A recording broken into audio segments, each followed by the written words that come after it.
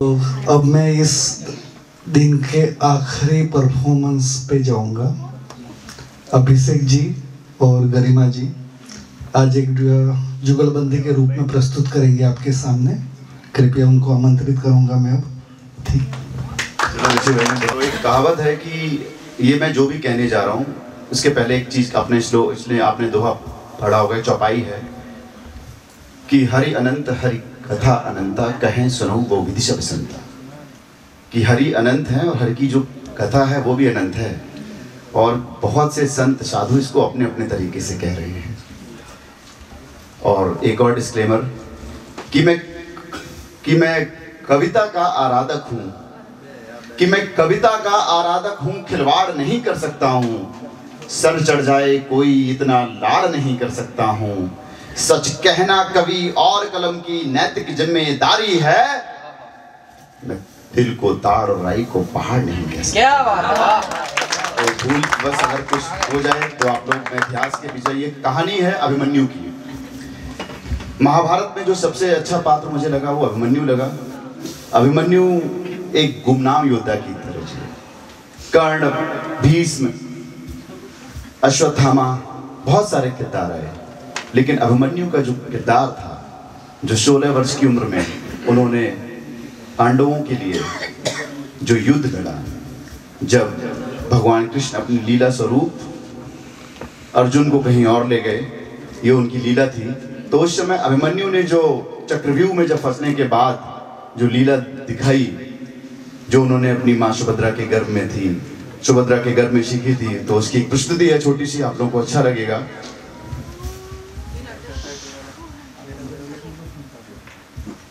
था वीर एक, वो गुमनाम अभिमन्यु था। फिर जिसका नाम ये आज के युवाओं को बता भी दो। शत्रु से घिरा था, जो हिम्मत से फिर लड़ा था, वो उसकी वीर गाथा को सुना भी दो। था वीर एक, वो गुमनाम आज अपनों पर आती है, फिर खुद को वो उकसाती है। योद्धा की फिर उठती कृपाण है।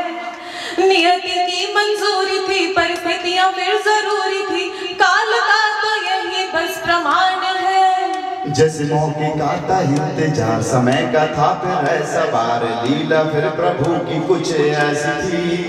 कि तनिक बिना वो चिंतित था फिर मन बिना फिर विचलित था। रण की इच्छा भी मानो फिर वैसी थी। कि कहने को वो बालक था पर युद्ध के वो लायक था।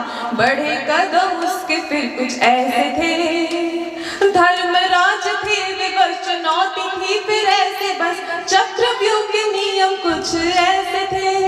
रणनीति कौरवों की थी ललकार उनकी ऐसी थी कि पांडु राज को तो फिर झुकना होगा। अरे संरचना कुछ वो ऐसी थी समस्या जटिल जैसी थी कि पांडवों को रण फिर छोड़ना होगा। खलबली थी खेमे में कठिन निर्णय को लेने में कि कैसे चक्रव्यूह को तोड़ा जाएगा। आसान था ये अब नहीं के पार्थ जैसा योद्धा नहीं। कैसे इसको भेदा फिर जाएगा? अलग थलग पड़े दिस चेहरों पर बस गंदी तभी चुनौती कौन स्वीकार कर ये पाएगा? और आई भी आवाज़ एक दबेशरों में फिर भी तेज पात्र पुत्र लड़ने अब जाएगा। समय बड़ा बलवान है हर योद्धा का समान है। वीरों को ये मौका फिर जो देता है। सौभाग्य है ये अब मेरा किरण क्षेत्र होगा, मेरा युद्ध भूमि जैसे मेरा न्योता है। सुना उसके विचारों को युद्ध की हुंकारों को धर्मराज भी कुछ कह ना सके। अरे बोले तुम बालक हो और हट बस भूले मानक, हिम्मत को अपनी और झुका ना हो सके। सुनकर युधिष्ठिर की बात मर्यादा के पूरे साथ ओजस्वी शब्दों में फिर वो बोला था, काँप उठी सागर की लहरें, मानो करती थी ठिठोरे माना कि आयु थोड़ी कम है हौसलों में फिर भी दम है। आशीर्वाद आपका है चाहिए। अरे पुत्र हूँ मैं पार्थ का पांडवों के वंश का। इससे ज़्यादा क्या मुझे चाहिए? कि धर्म मेरे साथ है, कि धर्म मेरे साथ है तो डरने की क्या बात है? बालक भी तो योद्धा हो सकता है। सम्मान की ही रात है। कल सुबह तो कुछ भी हो सकता है। ठानी अभिमन्यु ने फिर मचाने शत्रु में कहर की चक्रव्यूह में रण करने में जाऊँगा।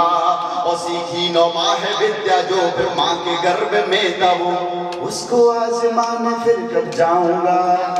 रणनीति फिर बनी वहाँ सब होंगे साथ। सब यहाँ अभिमन्यु का प्रवेश फिर हो जाएगा। बाकी पांडव पीछे शत्रु का मर्दन करेंगे, ऐसे चक्रव्यूह को तोड़ा जाएगा।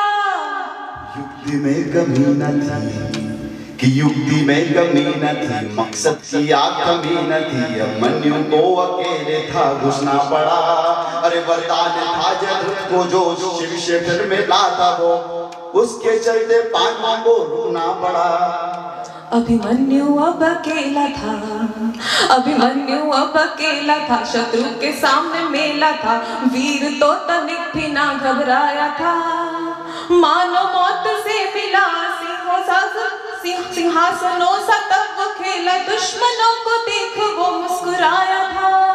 कि हुई गर्जना पृथ्वी गौर कीजिए कि हुई गर्जना पृथ्वी शुरुआत वो तांडव की थी। अभिमन्यु का वो मानो रुद्र अवतार था। अरे कौरव सेना का खंडन था साहस का वो आलिंगन था उसके रण का भीषण कुछ फुलकार था। रक्त की नदियाँ बही, रक्त की नदियाँ बही, दुश्मन की फिर खैर नहीं, पौरुष कुछ प्रकाश ऐसा फैला था। त्राही माम शोर मचा, किसी को ना था कुछ जचा। रणभूमि में जैसे वो अकेला था। हर द्वार उसने तोड़ा था, कि हर द्वार उसने तोड़ा था। दुश्मन को पीछे छोड़ा था, युद्ध में कौशल अपना दिखाया था। अरे चिंता हो रही थी, फिर गिर रहे कौरवों के विराट रूप का परिचय कराया था। अभिमान तोड़ा कौरवों का नाम बोला पांडवों का कर्तव्य उसने जो दिखाया था।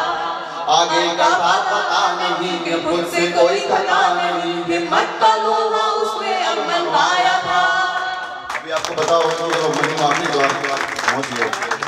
तो उसमें था कि पहुँचा आखिरी फिर द्वार। कि पहुँचा आखिरी फिर द्वार था। भेदने का इंतज़ार महारथियों ने घेरा बना के रखा था। अरे हार जो सोची न थी दृढ़ निश्चय में कमी न थी। नियत ने फंसा के अब उस रखा था।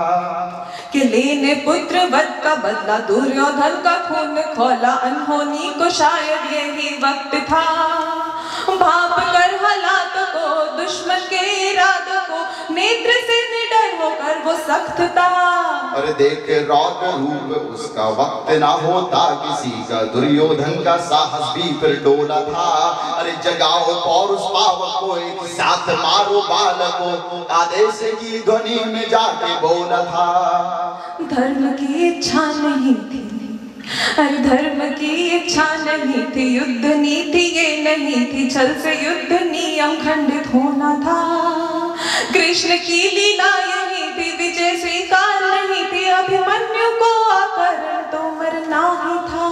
आपको पता होगा, इसके बाद जब जो आपके द्वार पे पहुँचते हैं तो सात लोग लगे रहते हैं उस द्वार पे उनको रोकने के लिए। तो उसके लिए है कि सात सात लोग टूटे थे। कि साथ सातों टूटे थे, पसीने सबके छूटे थे, साहस जो उसका तोड़ना वो पाए थे। अरे छल का वो सहारा था, साथी फिर उसका मारा था। रण कौशल को समझना वो फिर पाए थे।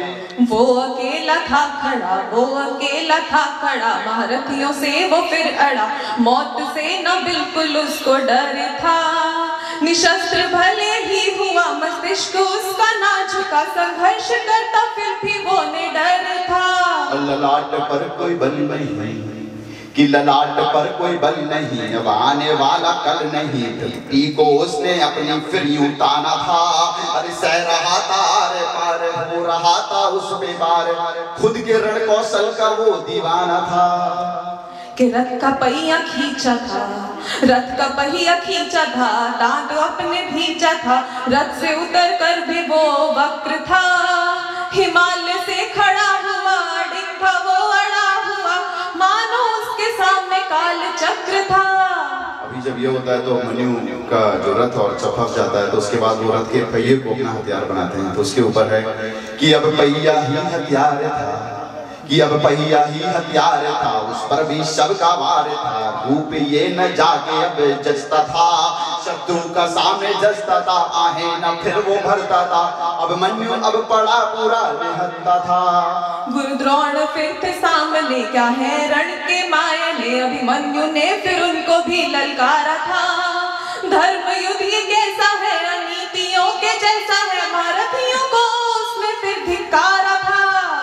प्रश्नों का उत्तर नहीं।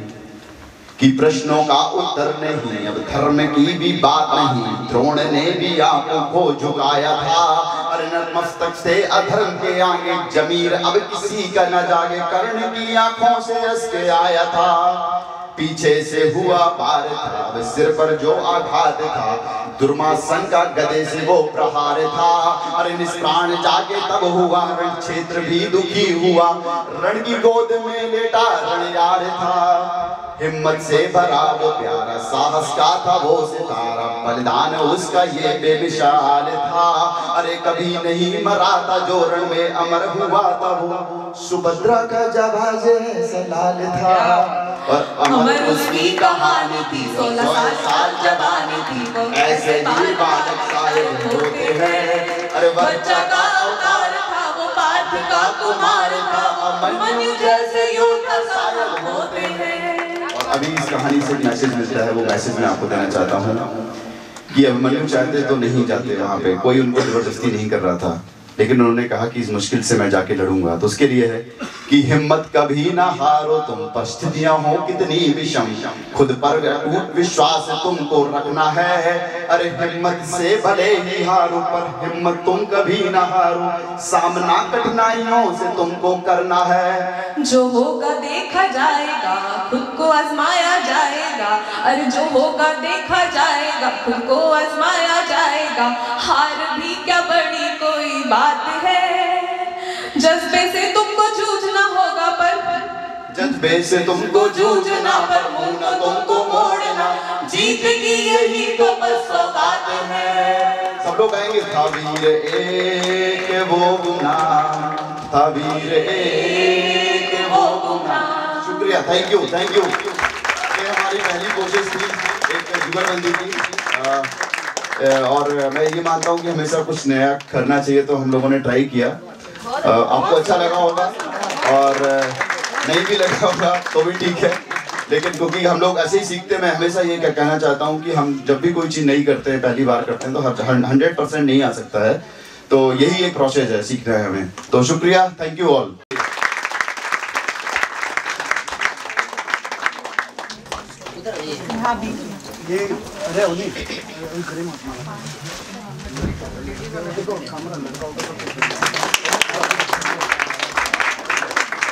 अच्छा नॉर्मली ये प्रोसेस हमने अलग रखा। मेरा ऐसा मानना था कि जो माल्यार्पण है माल्यार्पण जनरली अमूमन आप सबको पता होगा ऋषि सर को कि हमने कहा हम माल्यार्पण सबसे बाद में रखेंगे क्योंकि बीच में जाके माल्यार्पण करना वो थोड़ा जो कवि या शायर है उसको बीच में different Poonam Agarwal?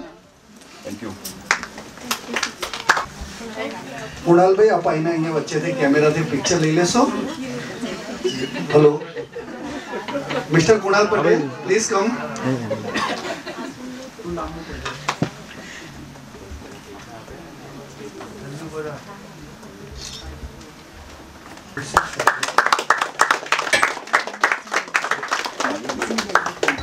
तालियां बजाइए थोड़ा सा हल्का सा नहीं आएगा आवाज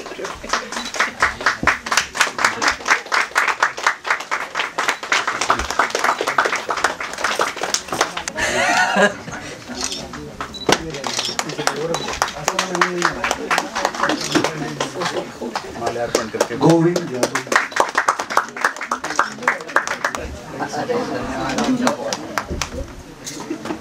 दीप पांडे।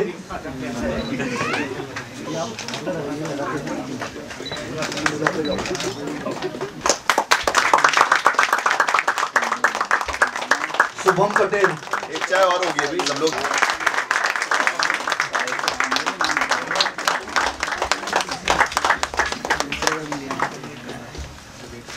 सोनल जेठवा। शुभम। शुभम पटेल। सुंदर जी। श्रेयांश मिश्र काबिस इनका नाम बहुत यूनिक है।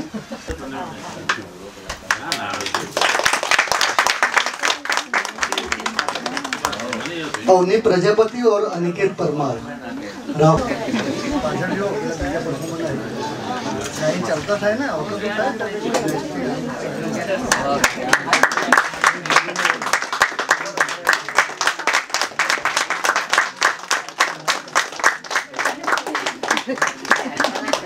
एक बार इनके लिए जोरदार।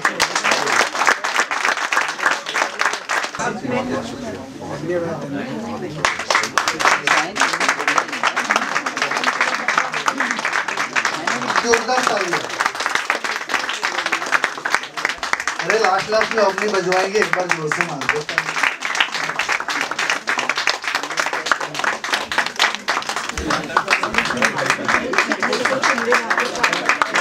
ऑडियंस लेके आया था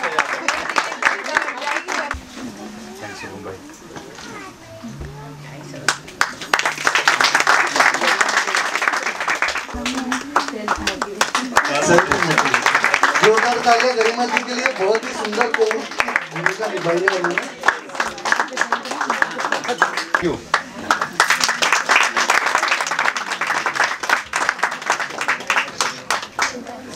अरे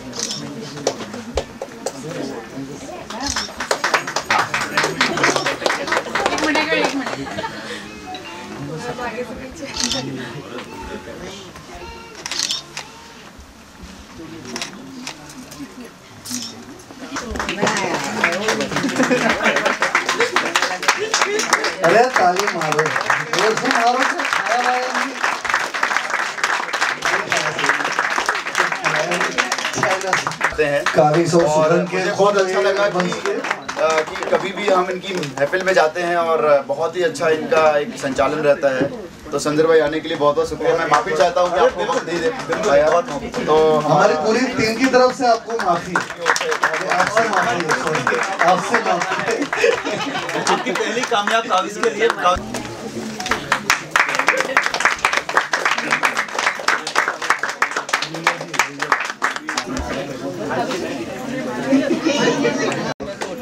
साथ जाइए। पूरी टीम एक साथ स्टेज पर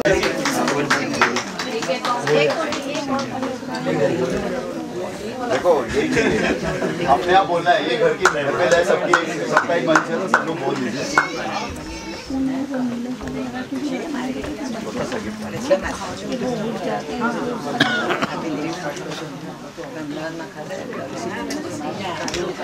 मुस्कुराइए थोड़ा